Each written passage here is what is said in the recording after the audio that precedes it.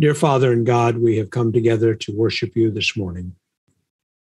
We know that you are with us, but we also know that the angels of the devil are standing by to interrupt us, to take our attention, to maybe make things not work, because the message that we give is a message of hope, a message of the future, and a message of a risen Savior. We ask that you'll be with us in this meeting. You will guide us, guide our minds, guide our understandings, and guide my speech for Christ's sake. Amen. Let me start, first of all, with something that's probably a little different here, and that is what I'm used to, which uh, would be a children's story. Uh, hang on a second. I've lost the Zoom part. I'm going to have to end this and come back. The Zoom, I have several screens here, and I have to move you over to a different screen here just a second. Um, okay, uh, just a second. I think we can do this now. Let's see here. For some reason, I think this is the one that should be right. Let's see if it comes up correctly.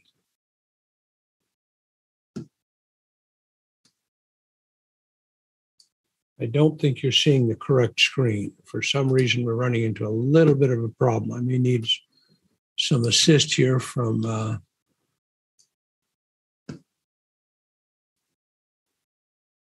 just a second, get rid of this.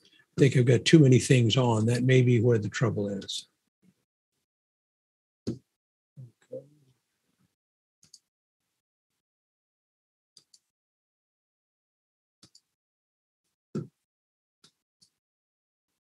Yeah, let's see. All right, the presenter. Can you see the screen okay now? Children's story. Is that the one? That's the one. Okay. All right. This is the children's story. Anyone between the ages of three and 93 can listen. The rest can uh, close their eyes and take a nap, I guess. I have a grandmother. She was the daughter of a Baptist circuit riding preacher that became a Seventh day Adventist he went around the country every year. And what he did is they lived in Oklahoma because he was a full blooded Cherokee Indian. And the mother and he and the five daughters would fill their wagon with personal items and a personal tent. And then there was a second tent that carried a big circus tent. It was big in those days. In today's, it would be not that big, probably. And they would go from town to town, and granddad would walk in to the bar. The bar was a place that was a restaurant, it was a saloon. They would hold church there. It was the only place big enough in a town, small towns. These are towns of maybe 20, 30, 40, 50 families, big enough to house everybody. And granddad would come up. He was not very tall, he was five foot tall. But like I said, he was a Cherokee Indian chief and he would raise a $100 bill, which was more than the people were making in a year, and said, This $100 bill is available to the man who can come and prove to me at the tent I'm putting up outside of town that Sunday is the Sabbath. And every town he left, he left a church. D.F. Sturgeon was asked to stand during the camp meeting about 1935 in Oklahoma, and he was getting to the end of his life. And uh, they asked everybody that had been brought in by him or their family brought in to stand, and it was like two thirds of the whole conference. But this is how he would spend from the time he planted his crops in March until he came back to harvest them in October. And they traveled by covered wagon. This is a little more realistic picture of two wagons and how they traveled. It wasn't like you see in Hollywood, it was different. Grandpa and grandmother and the five daughters, my grandmother being the oldest, name was Janice, was traveling through an area in Oklahoma. Oklahoma is very flat, it's like the top of your table. There's not a lot of trees. The trees in Kansas, Nebraska, and Oklahoma are not very plentiful. They're around hedgerows, but we don't have forests like you do here, just some lone trees. I lived there for a while. About 20 years ago, about 40 years ago, I guess it was. But anyway, they would find a place where they could camp at night as he traveled from city to city. And this particular night, they came up to a farm, and it obviously had a large, big fence that went around it, a very big fence. They saw nothing. So, Granddad, which was typical in those days, they opened the gate, closed and locked it, pulled their wagons up, took their eight horses, each wagon was pulled by four horses, and pulled them around and got them all corralled and the horses set up to graze during the night and give them some water. They had their dinner. They ended up having their worship and they went to bed. They would sleep in the wagons, but if it wasn't raining, they would sleep outside on the ground on a mat. And they were sleeping. In the morning, it was just beginning to get dusk, and they looked over, and this is what they saw. These are called Texas longhorns. Those horns can be as much as 12 feet across. They're big, and they're not very nice cattle. I used to be around cattle that you would milk, and they were kind of friendly and they were okay, a little skittish. But these are different. These are Texas longhorns. And the Texas longhorns are for dinner. And so they got very concerned, and the cattle were just slowly grazing. Quietly, Granddad went and woke everybody up and said, Be very quiet, move very, very slowly. Let's package up everything, quietly get it in. There's no breakfast, no nothing. We're going to hook the horses up and we're going to slowly leave because we know these cattle can get spooked and they will charge us. So grandmother and granddad and the daughters loaded everything, got the wagons ready. Aunt Minnie was put in charge of one wagon, grandmother in the other, and granddad basically got ready to run ahead to open the gate so they could let them out and then close the gate. Luckily, the gate swung inward so that the cattle couldn't bang onto it and knock it or loose and come out. So slowly, granddad began to walk, and grandmother, my grandmother, was sitting in the back of the last wagon looking at the cattle to warn them if anything began to happen.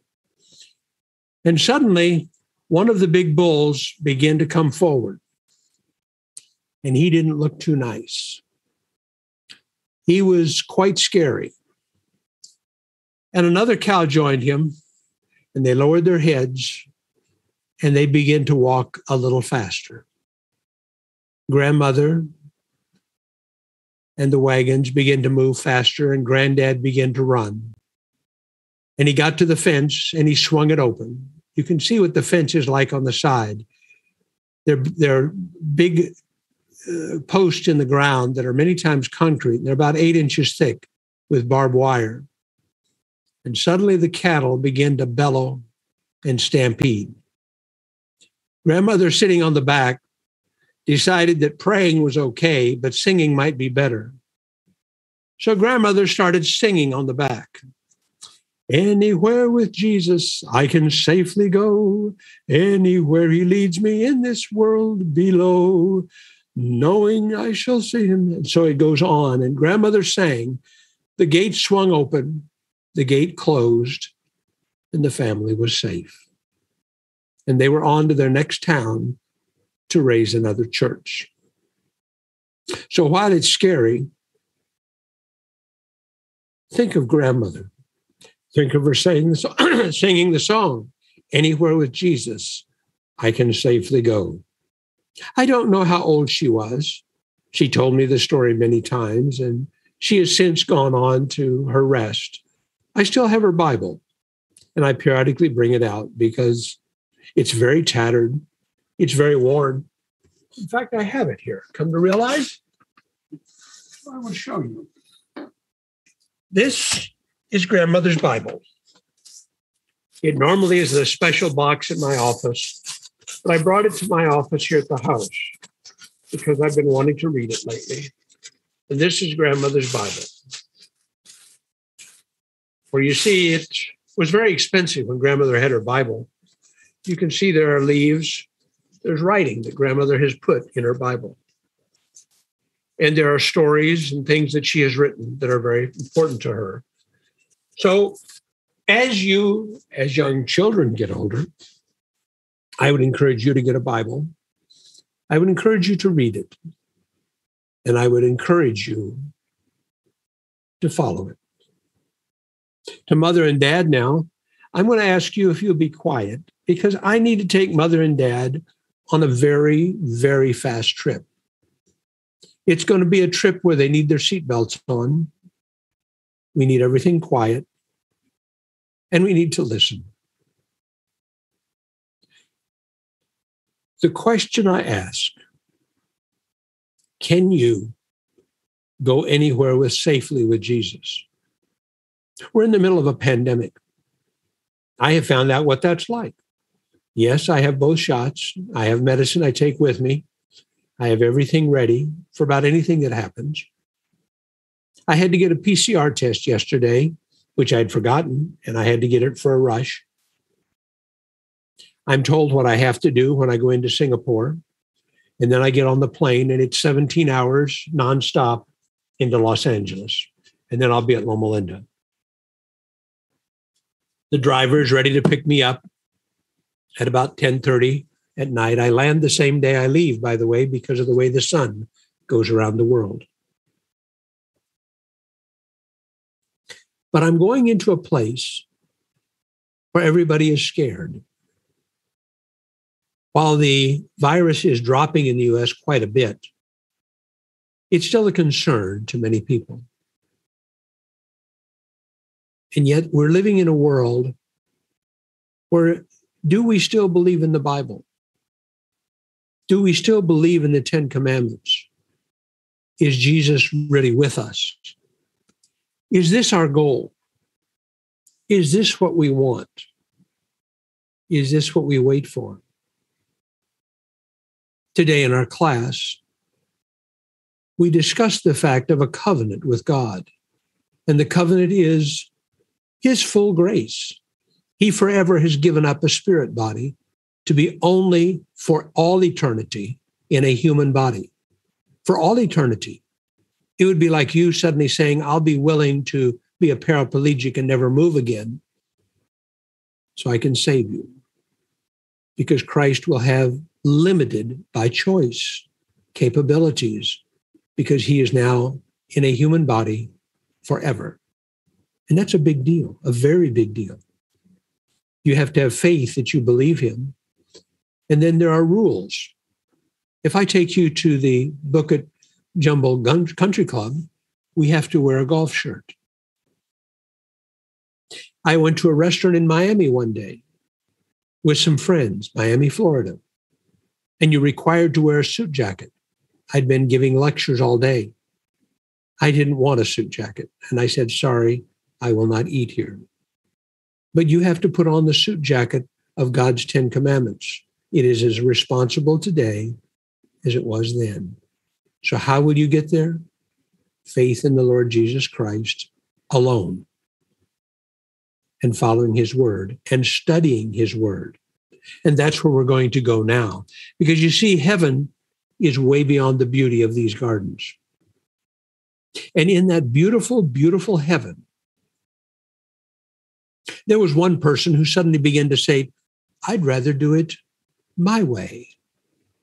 I think I know things God does not know. I think I'm smarter than God. He has missed things. So he went from angel to angel in heaven. And he began to say, Don't you think I should represent the angels? Eh, God's planning other worlds. And if I'm there, I can give him knowledge and I need to represent you. So I'd like for you to, to go with me and encourage God to say, Yes, Lucifer, you should be in this, in this group.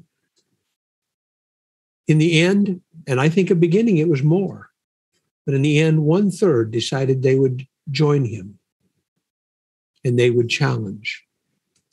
And then we have the devil. And they were thrown out of heaven. And there was war in heaven. It was called war. That means meanness. That means horrible things. There was war in heaven. But the thing I want you to think of today is not the angel, not the devil as it looks in the right as a mean howling. He is going to be a glowing, shining angel when he comes to this earth to convince you that he is God. And today I want to warn you how to be prepared for that. Because he was a bright, shining angel then, and he will return that way again. His goal is not to help you, but to take you away from Christ and to take you with Him to an eternity that doesn't exist and won't happen and will end. So now walk with me in a journey. Keep your seatbelts on because we're going to go very fast. We're going to go very far. For you see, the earth is about 6,000 years old. On the left is the story about 4,000 years ago of the creation, or 4,000 4,000 BC, about 6,000 years ago, of the promise to Adam and Eve that you have sinned. You have now taken by choice the devil to rule your world.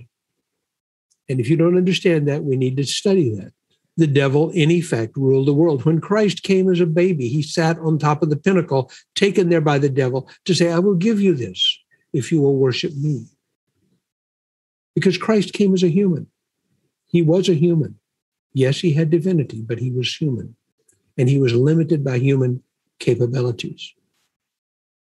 But you see, Adam and Eve were promised that, yes, someday a Savior will come. And that's a promise that you can bank on. It will happen. During the time of about 2,000 years, the flood happened. And that probably was about 1,600 years, maybe 2,000 years. We don't know for certain. But the next person that came on the scene was Noah. And for 120 years, he built an ark, a boat. It had never been a boat.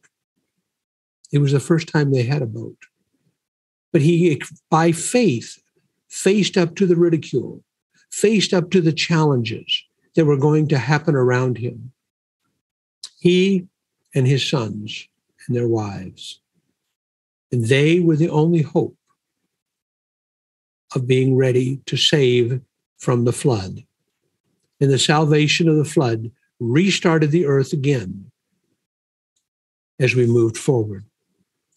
After Noah, and not long after, probably sometime in the area of just a couple of hundred years, Abraham came on, and he seemed to be a righteous man. He worshiped God. And God made a promise to him and said, I will make of you many nations. Abraham wasn't perfect. Abraham lied to two kings and said, This is my sister, not my wife. And they got in trouble and they got angry with him. When it came time to bury his wife, he had to pay a lot of money to bury her. It wasn't cheap. His son Isaac had a wife, Rebecca. You remember the miracle story of how she was picked up by the servant that went up and found the right person and brought her to be Isaac's wife. And then you have Jacob, who basically stole his birthright from his brother and played a lot of games, but God still loved him. And then you had Joseph, who is an arrogant younger son harassing the older boys, and they finally sold him off to be a slave in Egypt who then saved Egypt. And the story goes now in some of the material that the actual salvation of maybe even up into China may have happened because of the ability of them to save, because it was a worldwide famine. But those patriarchs lived in faith to Jesus Christ. They saw a future that they could not see. The only sight they had was faith. And that's the only sight that sometimes you will have or I will have. And that became a very, very big problem. Then we end up having Moses, which we've studied about, because they knew that there was going to be a leader born. Josephus says that there was one of the priests that went and told Pharaoh and became a expert for the Pharaoh, and that's why they killed all the baby boys. And so Moses was then taken at seven into the palace. Nobody talks much about that. If you read Josephus, we don't have anything in the Bible. It talks a lot about he was trained in the laws, in medicine, in religion, and in the army. What you may or may not know is he became a phenomenal general under the Pharaoh. He actually took the Ethiopians, came and challenged Egypt. And he led the army and had a great victory, which is well known. And military people still study his battle going into Ethiopia and winning. That, along with Christ being there, I think was one of the reasons he could walk in to the Pharaoh without question, because he was very, very famous in Egypt. They had hoped he would die in the battle because they knew he was part of the Israeli group. But instead, he lived, he won the battle, and then he had to run for his life. And God then had to change him for 40 years in the desert. And he became a very, very humble man, not realizing until later how valuable the simple rod he carried that God could turn into a miracle. But he saw the future of the Exodus people. He saw the future of how God was going to lead them. And remember, these are slaves. They had little knowledge, little education but they trudged across the desert. They were taken through a phenomenal wall of water, which was a miracle. They were given manna every day, a miracle. They were given water that came beside them, a miracle. And yet they regularly seemed to forget who God was. And then they became Israel. And over a much longer period of time, kings came up, David, David, Solomon, and so forth. Then they digressed very badly from what God had told them. He told them, Do not become part of what is around you, be separate. Do not do the same. You need to read some of this. You'll read it in First and Second Chronicles, First and Second Kings, and First and Second Samuel. You'll read some of those stories. I would like for you to read them. Then you have Jeremiah, Ezra, Daniel, and Esther, by the way, during this time phenomenal stories of God's blessing. So let's let's go a little bit to the area that is called the Babylonian captivity, which happened very interestingly for the simple reason that many of them had idols. Today, when they dig up some of the remains of the villages during the time of the Jewish and Israel nations, they find inside many of the homes small idols to Baal and to Moloch and some of the other gods. And that explains why God says, I'm taking you into captivity and you're going to be there for a period of time. In Jeremiah 25, 9 to 12, we are told you'll be in captivity for 70 years. You will be in captivity for 70 years. That's where I want to spend a little bit more time because it has a lot more to do with us today. You can see the flood. You can see Adam and Seth and Enos and Cain and Methuselah and so forth. You can see Abraham and Isaac, but we'll look at the area called Daniel and Revelation, the time prophecies. For the Bible is very specific. Nostradamus is not specific you find find things about the Bible code and some of those things. Please don't spend your time there. Take the books and read them. If you need help, I'm trying to put together some material while I'm gone. I'll be resting a lot because my mother sleeps a lot, but I'll stay in her room as I visit with her. And I'll be trying to prepare some things. But Daniel and Revelation is something that you need very much to know. We'll talk more about that toward the end. But there are many time prophecies, and I'm going to show you, that are very, very specific.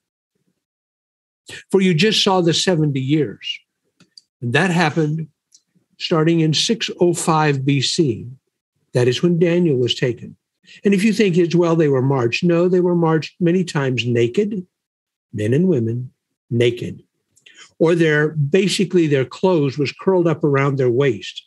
so the bottom part of their body was na- was obvious.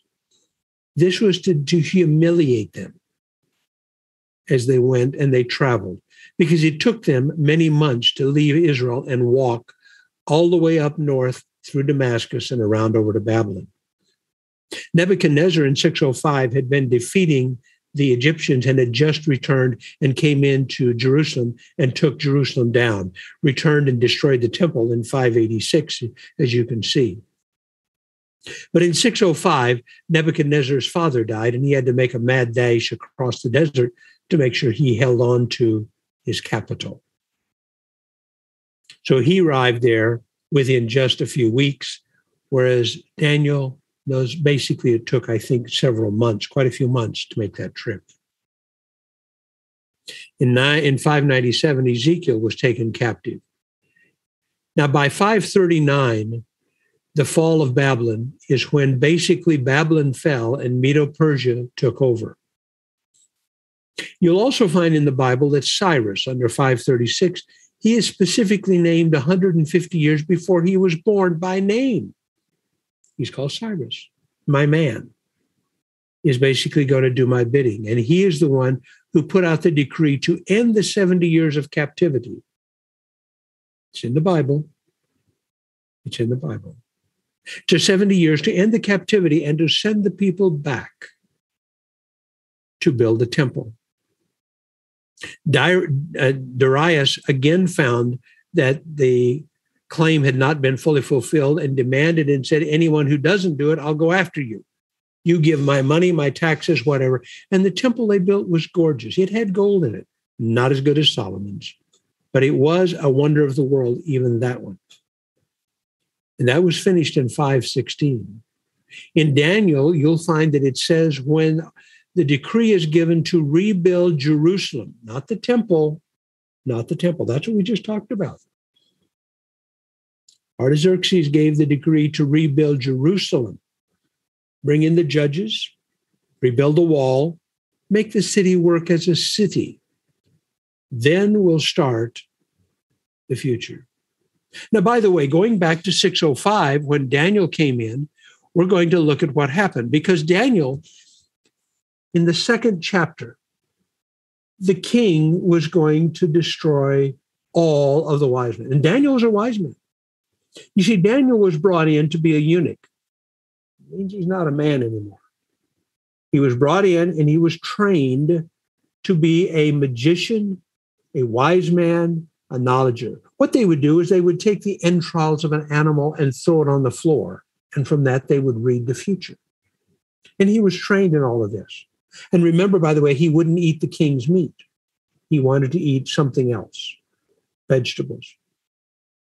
And God blessed him. Stop and realize in 10 days he looked better than the other men. You can't do that on a diet today. But God blessed him. And the king had a dream. He dreamed this gold, this image to the side, but he couldn't remember even the dream. So he said, if the wise man can't tell me what I dreamed and what it means, I'm going to kill a whole bunch of you. And so the soldier came to Daniel's house and says, Come on, we're going to have to behead you today. And wait a minute, hold on, folks, hold on. Can I go to the king and ask him if I can pray to my God for an answer? Yeah, you could do that. So he went and asked the king, and the king says, Okay. Then Daniel came back, and this is what Daniel saw. Daniel ended up seeing all of this. He said, O king, you're the gold. Following you is silver, and following you is bronze, and following you is iron. And then it's going to be clay. And then a stone is going to come and destroy this whole image and set up a mountain that will cover the whole God. And the stone is going to be Jesus Christ. And the kingdom is going to be God's kingdom. By the way, then in Daniel 7, Daniel himself got the same dream, but not with the image. Instead, it ends up being a lion, which, by the way, is a symbol. Go back and look at it. It's a symbol of Babylon that was used by the Babylonians. And he basically saw them as that. And then he saw the bear. That was Medo Persia. And it was talking about raised up on one side and had three ribs. That are three kingdoms. That was that was Babylon, Egypt, and Lydia. Those are the three kings which represent the three ribs in the mouth. And then the leopard, which was Greece that would follow. And when Greece followed, basically it had four wings representing four generals that would take over. And by the way, Alexander the Great, who led that battle all the way to India, there are still tribes in India. I've talked to the military people in India when I used to go there every year about those tribes. I wanted to go and I never did. These are tribes left, they're Aryan tribes. It's talked about in National Geographic even a few years ago.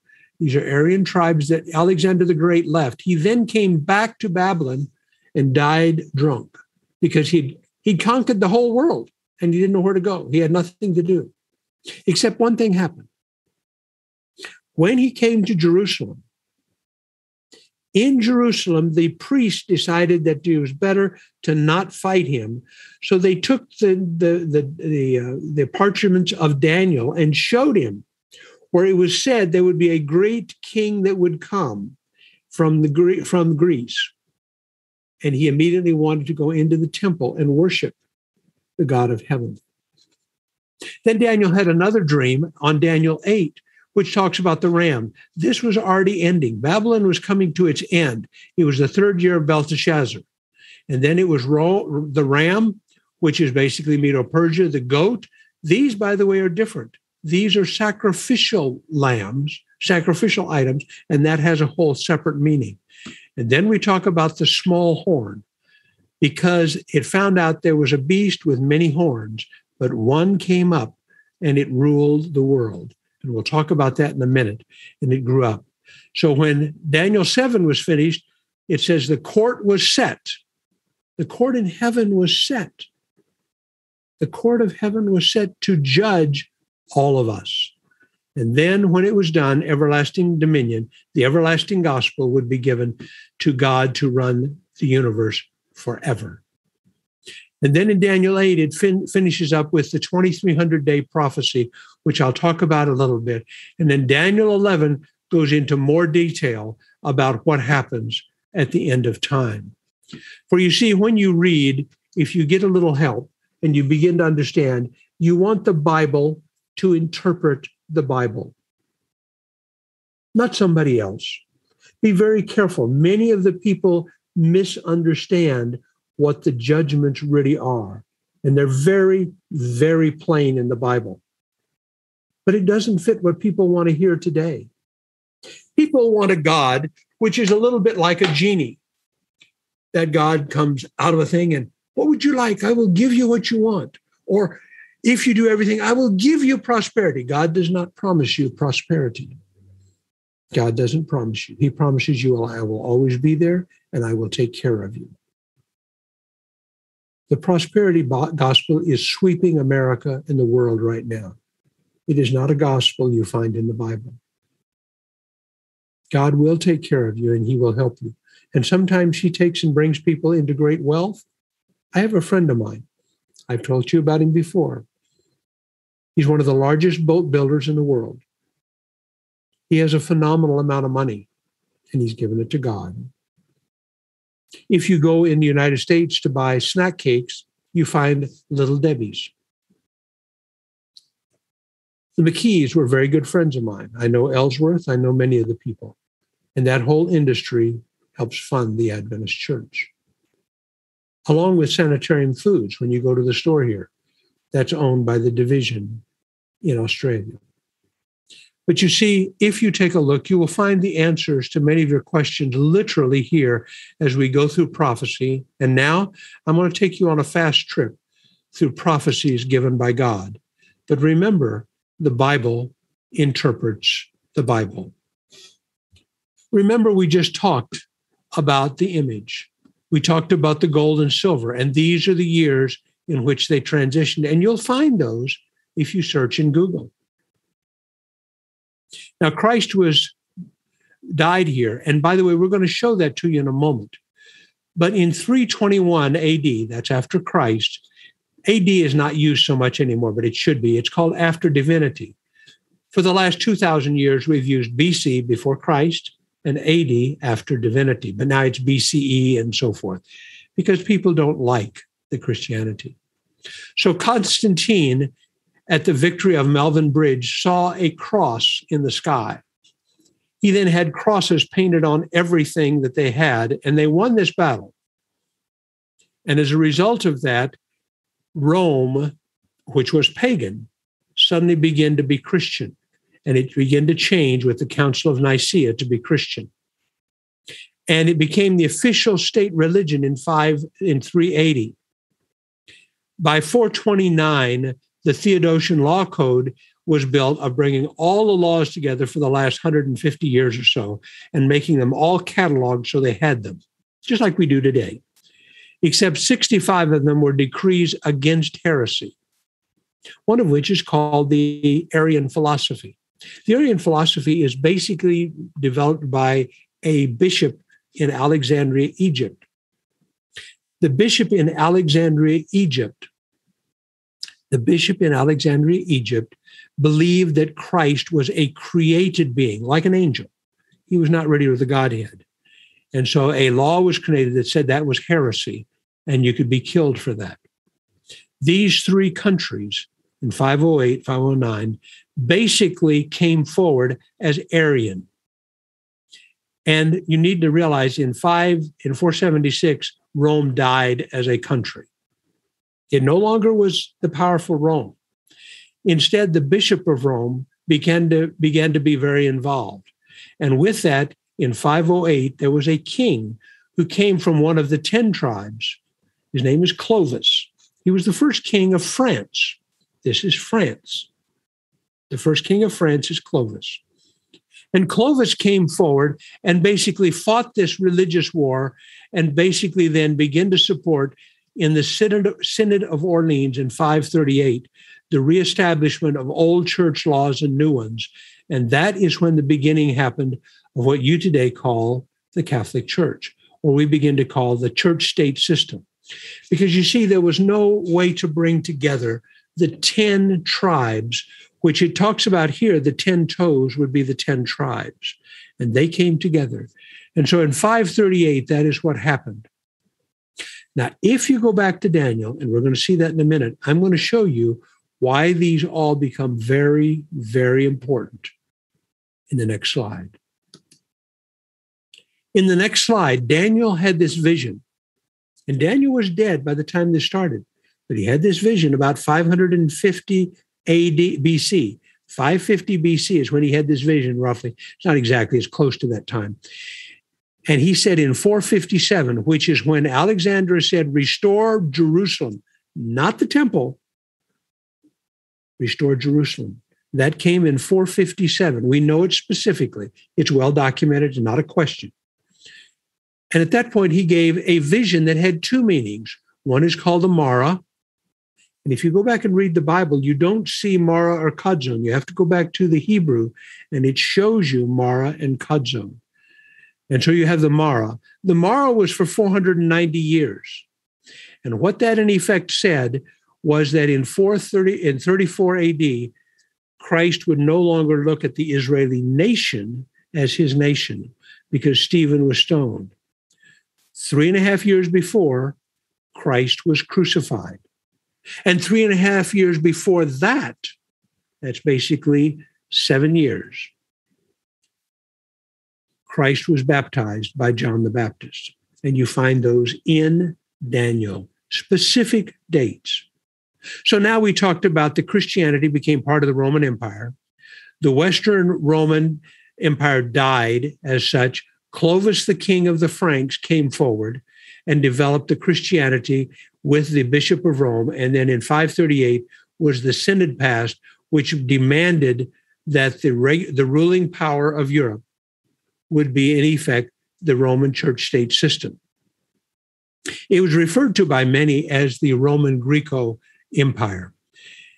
The Chazon was specifically stated by Daniel as 2,300 evenings and mornings. And in the Bible, in several places, it shows that the day for year prophecy is what applies. So, therefore, you know the 2,300 days are 2,300 years. Wow, that ends in 1844. That's not that long ago. In our time, it's about 180 years ago. Don't remember the exact time, but somewhere in there. So this is basically what happens in that time. And then Daniel also at the end in chapter 12 said, Blessed are those that maintained to the 1290 years or the 1335 years. Because what happens here is in 508, when this Clovis king came out, we know that what happened is 1335, there would be the beginning of the time of the end. In about 1755, if I remember the year, is when the huge Lisbon earthquake happened. It affected almost the whole world.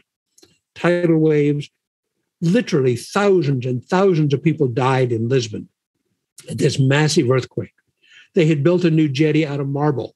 People ran to that thinking they would be safe, and it collapsed. They ran into the cathedrals because this was All Saints' Day, and they died in the cathedrals as they collapsed. It was not nice. That was in 70. And then you ended up having the day when the sun turned to, to blood red. Then you had a massive shower, showering. And then you ended up having what's called the dark day in New England, which no one to this day understands. But at 10 o'clock in the morning, everything suddenly began to go dark. Everything. The chickens went back to roost. The cows came to the barn, 10 o'clock in the morning. This, the, the Senate and the Congress that were meeting basically all went home. And no one could explain why there was a total dark day. Very interesting. People became very scared. Isaac Newton, who's very famous, read about all of this and talks about it. I'll try to get you some material if you'd like it. Martin Luther, who started the Lutheran Church, he also thought Revelation could be taken out of the Bible. And then later in life, he studied it and he became convinced of this. He became convinced of what was happening and where things were going. And so you end up having not one man, William Miller, who you need to study about, but you have many people. There was a very famous uh, missionary I'm trying to think of his name now. It's Sunday. I didn't write it down. Fox, I believe, was his name. He traveled the world, including China, and took the world of the gospel of Jesus Christ to China. He grew up in a Jewish home and left because he realized who Christ was. And then, with a little money, he be, he traveled the world and talked and did a lot. And he began to see this. There were people in North Carolina, Chicago, Europe. It was not in one place, it was all over the world. Now, before I forget it, I need to show you one date that's very important. This is 1798. Now, if you don't believe me, I want you to take on your handphone afterwards, and I want you to punch in the date 1798. 1798. Then I want you to punch in Pope, P O P E, like the Catholic Pope. And then I want you to punch in Napoleon, what you're going to find, if you look, there'll be a few things that may come up with this. You're going to find that in 1798, General Berthier, under the, under the demands of Napoleon, captured the Pope and put him in jail, and he died there.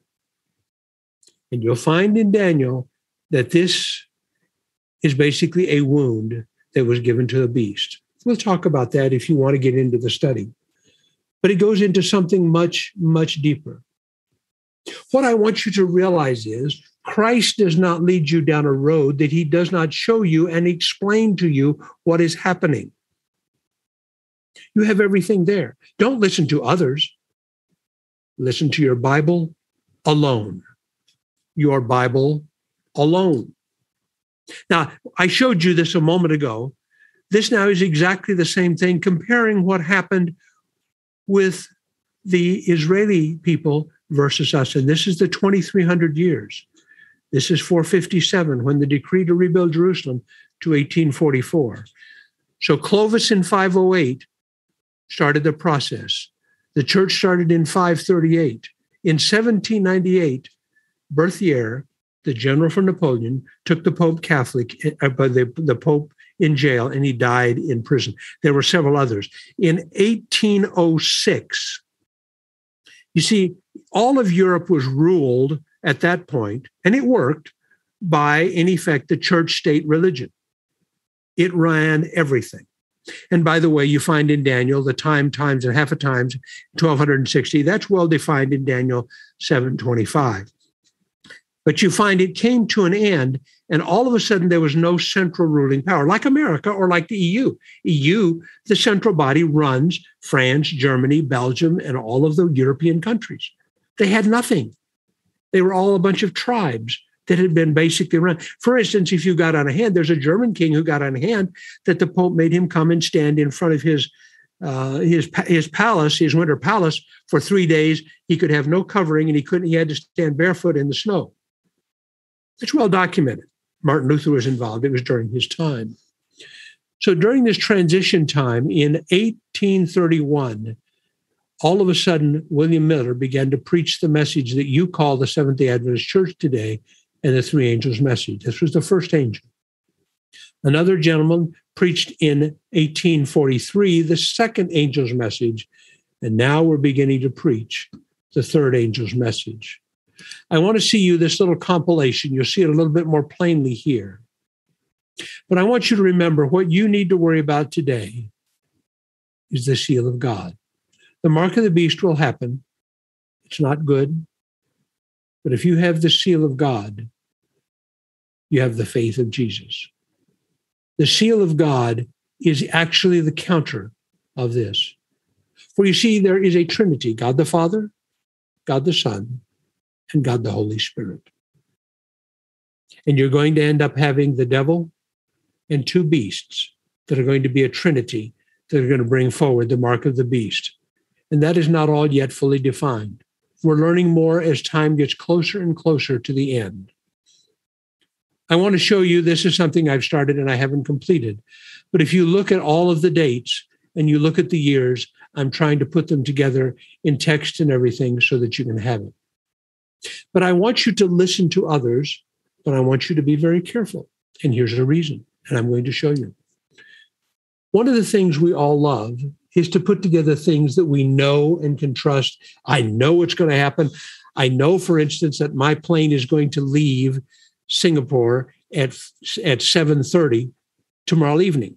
And I know at 8.50 I'm going to arrive unless we get a bad headwind. And I know I'll be at my sister's house at midnight. We like those things. And so many people draw up time charts like this, and some of it is very good.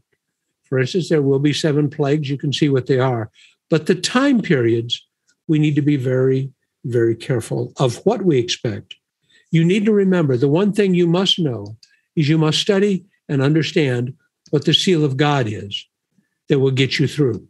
Because it's the seal of God that will bring you through this to spend time and eternity with Jesus Christ. For you see, we know what we know. And by the way, the Pharisees knew exactly when Christ was coming. They knew what was going to happen, but it didn't fit because they built a timetable exactly what should happen. And it didn't happen the way they thought. I'm not saying this isn't right. I'm not saying it is. I'm just simply saying you only get there, as one of the young men said earlier today in the prayer, you get there with getting up at five o'clock in the morning. You get up there with having your devotions. You read before you do that. You write a prayer journal. We can show you how to do that. And you begin to get very, very close to God. And you begin to learn exactly what is going to happen because it looks different when you get there. So, therefore, this is a little bit of what ends up happening with us as we move forward. This is a picture in time, and we're getting very close to the point when all of a sudden we will find there are reasons that we need to study prophecy. Jesus recommends it. It demonstrates we are living in the end time. It will tell us to know what will happen. It helps us be ready. It helps us to increase our faith in God's word. It helps us to be blessed. And it prophesy, its prophecy points us directly to Jesus Christ. For you see, heaven was perfect. The devil brought sin. Adam and Eve did do sin. Israel was chosen as a nation and they failed, sadly. And then all of a sudden in 18, 1800s, we begin to get the message we have now.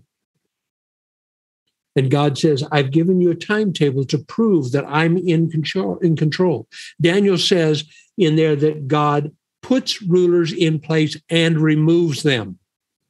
I may not like Biden as the president, but I have to say God has allowed him to be there. Why? I don't know. Maybe I love him, maybe I don't. But God is in charge. And God is always, always, always there.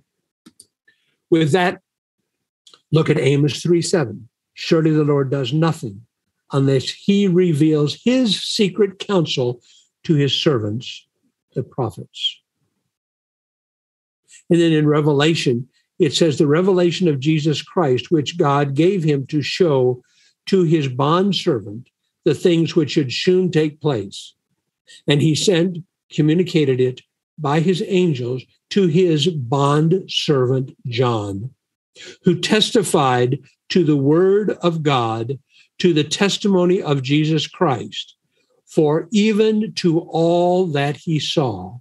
Blessed is he who reads and those who hear the words of the prophecy and heed the things which is written for it, for the time is near. And remember, Revelation is called the revelation of Jesus Christ.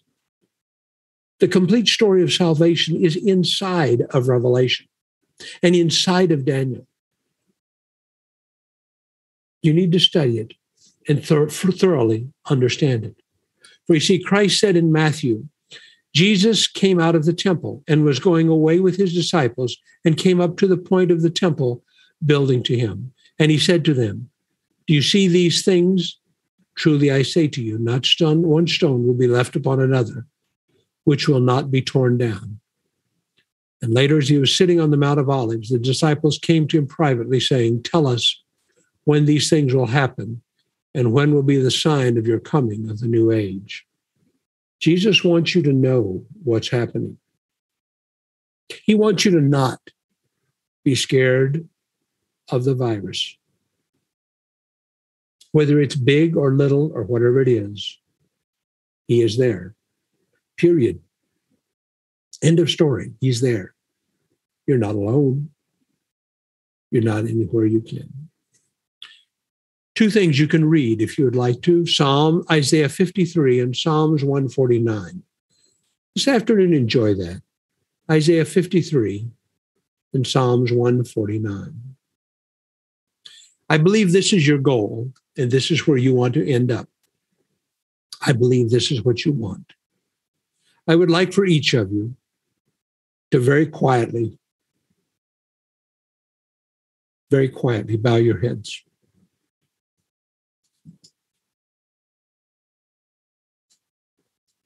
I'd like for no one to be looking. I grew up in a church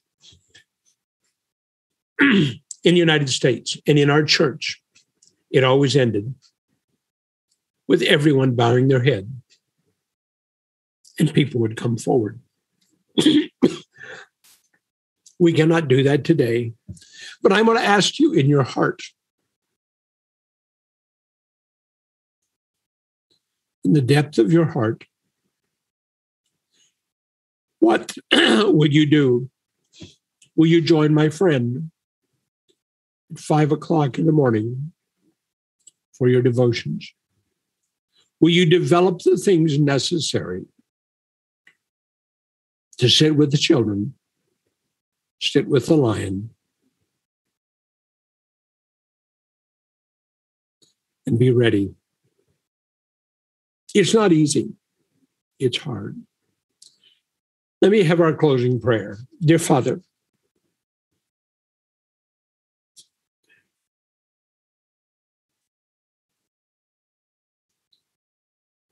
We ask that you will join us today. We ask for the quietness.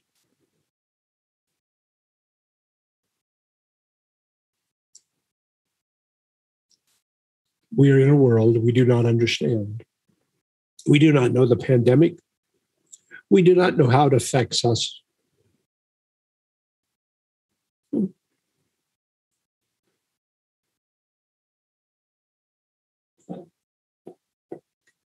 Bring each one of us close to you, guide us, and make us ready, and put us in the places we need to be for Christ's sake. Amen.